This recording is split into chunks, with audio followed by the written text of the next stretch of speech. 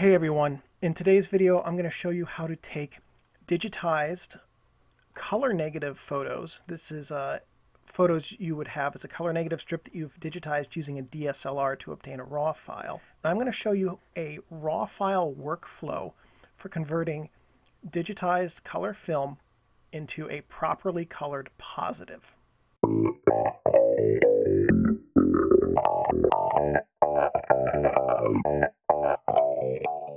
So if you've ever tried to digitize color film just by photographing the negative, it can be really hard to get the image correct. You can invert it, now you've got this horrible blue cast because of the negative's red base.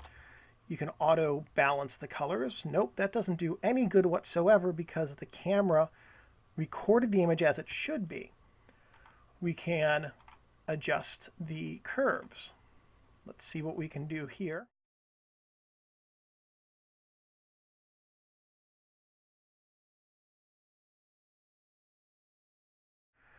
So if you just have a JPEG, it's really difficult to get a positive image from a DSLR digitized negative.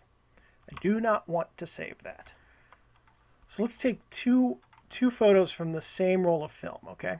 I'm going to take two somewhat similar photos and I'm going to show you what the process is for achieving uh, a positive image from a color negative digitization.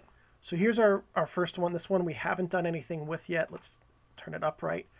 This one is properly edited to look like a normal and good photo. So if we want to make this one look good, because it's a negative, first thing we've got to do is make it a positive, right? So let's do that right here. Now we have the issue we had inverting it just as a JPEG. It's super blue. Now the advantage to having a raw version of this is that there is something we can actually do about that now. So the first thing we're going to do is we're going to adjust the color temperature. Now this was a negative. We're still technically working with a negative, which means all of, this, all of the sliders are going to work in reverse. So if we instinctively make this yellow to counter out the blue, all we're going to do is make it more and more blue. So we've got to drag it over here into the blue spectrum to introduce yellow into the image. Because what we're actually doing is introducing blue to the yellow base. So this is countering out the yellow base of the negative and giving it a natural coloration. 2450 looks pretty good. I'm guessing that's pretty close to the one that I did earlier pretty close. 2500 was the color temperature I used earlier. 2450 is close enough for YouTube work. I'm going to drop the tint a little bit. I want to add a little bit of magenta to this, but not much. So I'm just going to make it plus 10 instead of plus 12. Uh, everything else we're going to do is going to be in these four highlight, shadow, white, and black sliders. These are going to do everything for us. The whites and blacks are going to do the real heavy lifting. The, white, the highlight and shadow sliders are going to control contrast we don't want to mess with the exposure and contrast settings here, assuming that the exposure you obtained when you digitized this was correct. So I'm going to show you if we jack this all the way to the right, it introduces a whole lot of contrast. If we bring it down to the left, it reduces it. I'm going to introduce contrast in the highlights because introducing highlight contrast on the negative introduces shadow contrast in the positive. That's why you can see here I'm introducing contra uh, brightness into the highlights and the shadows are getting darker. Same thing is true with the shadows. Making the shadows darker will brighten the highlights. Making them lighter will darken the highlights. So I don't want to have this much darkness in the highlights. I want to have it a little bit like this. I don't want the highlights to be blown out. So this looks pretty good to my eye. Now here's where the magic's going to happen. I'm going to adjust the slider to introduce brightness to the whites. Ooh, there we go. Now what happens is as we're adjusting the, the whites and darks here, you can see the histogram up top. That's also changing the color profile of the image. So I think that the contrast and the tonality here is pretty good, but we've added a whole lot of blue we need to take out. So I'm going to drop this to 2100. That's too low. Make it 2250. Oh, we've gotten back to a fairly normal looking skin tone with fairly green greens. Now let's work with the blacks here.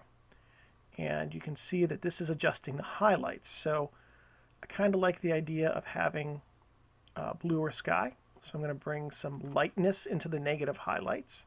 We can also adjust the saturation a little bit to kind of correct a, some of the coloration. Like now, here we go. Negative 20 saturation has some pretty normal looking skin tones here, given that this photo was taken with the subject's face in the shade.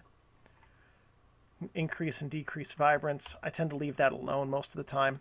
And add some, add some sharpness as well to bring out some details and correct for some of the raw softness. And you can see that the results end up being pretty natural. So one thing you can do, one of the nice things about RAW is once you get one photo on a roll that you really like the look of, you can just synchronize the rest of them. And from there, you've got the ability to now take these into Photoshop as more editable images and do things like clean up some of the, the damage to the negative here that you can see uh, this stray mark here that was apparently on my sensor. So take a look at these settings over here. And if you're using a red-based color negative, this is going to be pretty close to the settings you'll find will, that will work for, for most situations. If you're using uh, something like a Kodak Gold 200, which has a greenish base to it, these, the settings for that will be significantly different. So let's open these images. And of course, once you've got these opened, now you can do some things like auto color, auto contrast, sharpen them, and really make some of the colors pop. And that is a pretty good looking result.